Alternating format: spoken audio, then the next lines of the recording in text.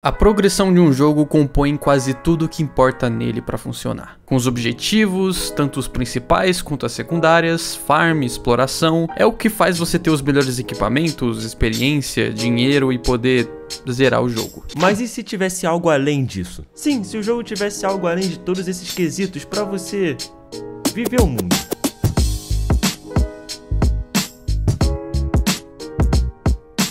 Like a Dragon Infinite Wealth, ou Yakuza 8 pros mais íntimos, tem uma história muito linda e Yakuza é conhecido por ter uma história muito foda e side quests muito divertidas. É, eu tenho medo dos fãs de Yakuza. Em Yakuza 8 em específico, o tanto de conteúdo extra que você encontra é surreal. O jogo foi expandido em três mapas, que é Ijincho, Kamurocho e o Havaí. Então tem coisa pra caralho pra você fazer. Você pode ir pescar, ir nas lojinhas da SEGA jogar arcade de jogos antigaços de verdade você pode ser um entregador de iFood que é um minigame bem legal, inclusive. Você pode virar um paparazzi ou um turista. Esse daqui, quando eu descobri, eu achei muito brisado, mas eu achei até que divertido. Você pode usar um aplicativo de namoro para flertar com garotas, tipo um Tinder, que você escolhe as melhores palavras para usar e tem um Quick Time Event para digitar melhor. Que se você conseguir chegar no máximo de intimidade...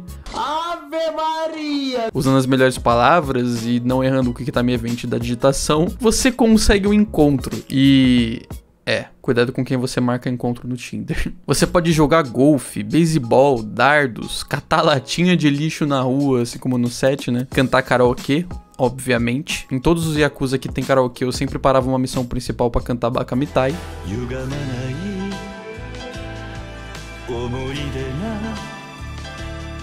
Bakamitai.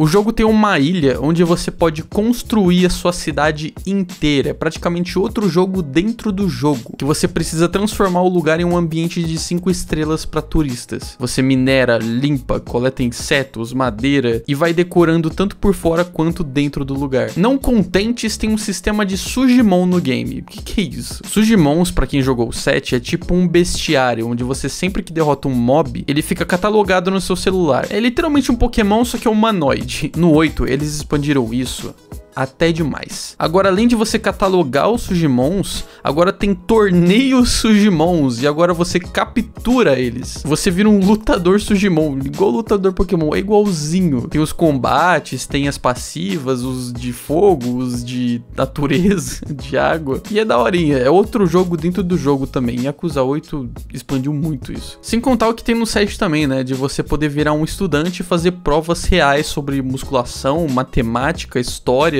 sobre a Yakuza, conhecimentos gerais, a SEGA. E por falar em estudo e provas, tem um jogo que tem uns conteúdos extras bem interessantes.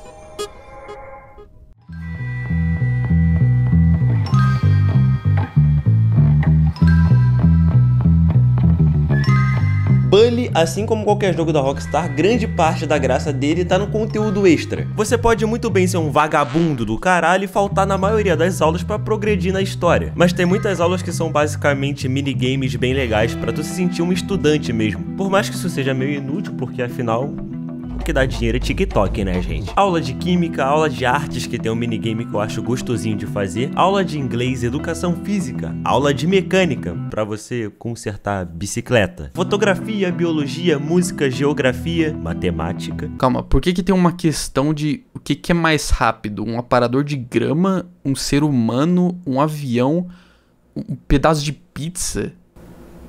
O foda do bullying não é só o fato do jogo se passar em uma escola e você ter essas aulinhas para se sentir um estudante, mas você literalmente pode viver como um. De novo, eu não sei porque você iria querer fazer isso, mas você pode. Você pode pregar peça nos alunos, colocando bolinhas no chão e tocar o sinal, colocar aqueles bilhetes de me chute nas costas dos outros, botar bombinha nas privadas, fazer parte de torcida organizada de futebol americano, fazer embaixadinha, jogar basquete, flertar com garota, começar briga de bola de neve, ir pro parque de diversão. É muita coisa, você realmente vai ter experiência de um estudante, eu sinto muito. E caso você realmente tenha gostado da ideia de se sentir um estudante,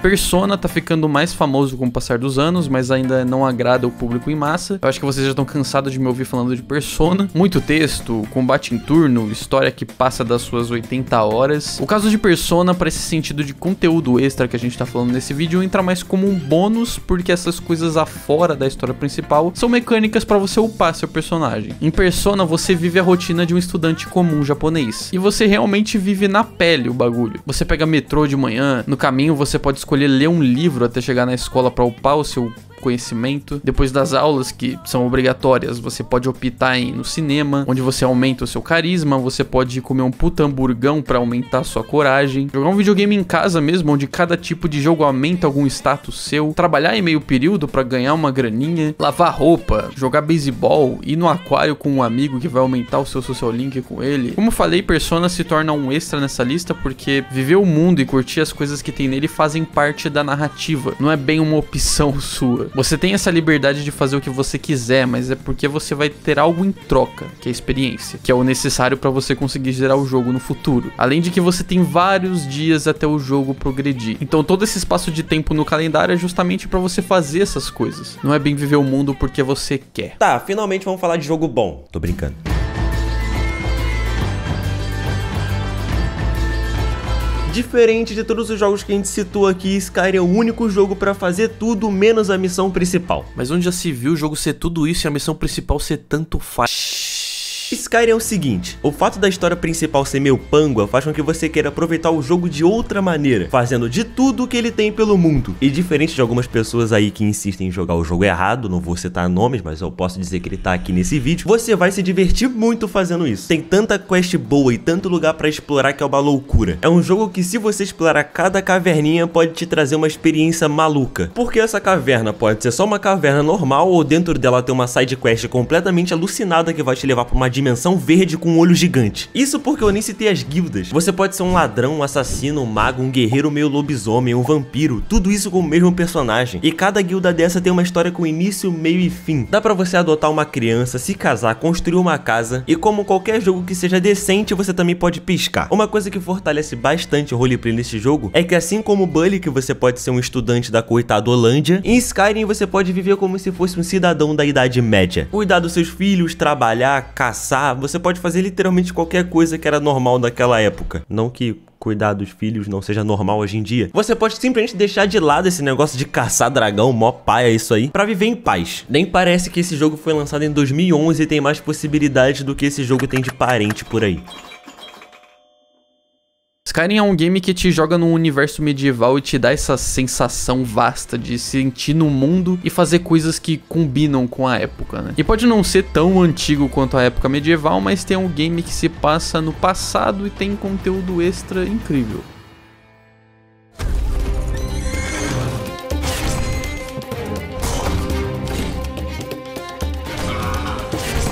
O Assassin's Creed 3 em específico, diferente dos jogos que a gente citou, onde é você usando o mundo para viver ele, de conteúdos extras. Aqui são as missões secundárias e terciárias que tornam ele mais rico além das principais. O 3 é um jogo que ele é meio hateado. Eu mesmo antigamente era o Assassin's Creed que eu mais desgostava. Mas quando eu decidi platinar ele, eu sei que o vídeo não é sobre platina, mas calma aí. Quando eu decidi fazer todos os troféus, eu tive que fazer os conteúdos extras dele, fazer tudo no jogo. E eu percebi como esse jogo é extremamente rico de conteúdo. A gente tá acostumado a Ubisoft só botar colecionável inútil e fazer você limpar. Mas em Assassin's Creed 3 não é só isso. No jogo a gente tem um colega chamado Peg Leg, que a gente precisa sim pegar colecionáveis dele, mas sempre que a gente pega tal quantidade, desbloqueia uma missão muito única dele, que leva a gente para um mapa completamente novo para resgatar algo e são muito bonitos e missões bem épicas. Você tem pequenas missões com os membros da fazenda, que para lá começar a ser habitável, você conhece carpinteiros, estilistas, caçadores, mineradores, e as missões que você passa com eles aprofundam mais suas personalidades e suas vidas. Você presencia a mulher dando notícias que tá grávida, de um minerador que se apaixona e depois você vê ele casando. Bom, que talvez a noiva tenha fugido fugido pela janela e talvez você tenha que ir atrás dela, a gente não precisa mencionar para ele. Além da gameplay naval, que é uma delícia, tão adorado na época que veio com tudo no Black Flag. E se você não gosta tanto assim de Assassin's Creed 3, faz essas missões extras, talvez você goste um pouco mais.